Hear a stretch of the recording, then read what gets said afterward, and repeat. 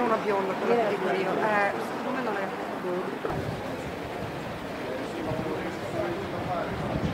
Il ragazzo si è avvalso della facoltà di non rispondere, eh, ha chiesto scusa e si è scusato per quel che è successo, ha spiegato come in realtà non avesse in animo quello di uccidere nessuno e per il resto chiaramente essendosi avvalso della facoltà di non rispondere rimandiamo il tutto ad un'altra occasione per rendere l'interrogatorio con, con i magistrati.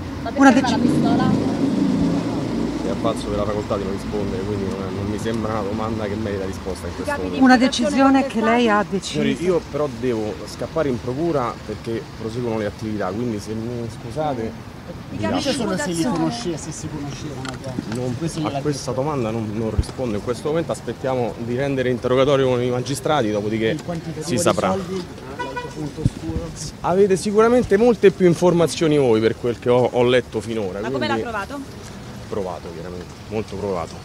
Che Scusate, cosa le ha detto, avvocato? Le prime cose che le ha detto Signori, quando, quando lei l'ha visto per la prima volta stamattina? era molto provato e, e dispiaciuto per quel che è successo. È un dramma che ha investito più famiglie sicuramente, è dispiaciuto per quello che è accaduto a Luca, al ragazzo, però per ora basta così. La mamma di Valerio è distrutta, come, come è normale che sia. permesso si sono avvalsi della facoltà di non rispondere. Dottoressa, ci dica qualcosa. Ci dica qualcosa, si sono avvalsi entrambi della facoltà di non rispondere? ci? Signori, signori per favore, per l'autopista, Si sono favore, avvalsi entrambi? signori per favore, Sì, grazie. si sono avvalsi entrambi. Sì, Grazie, grazie, fatemi lavorare.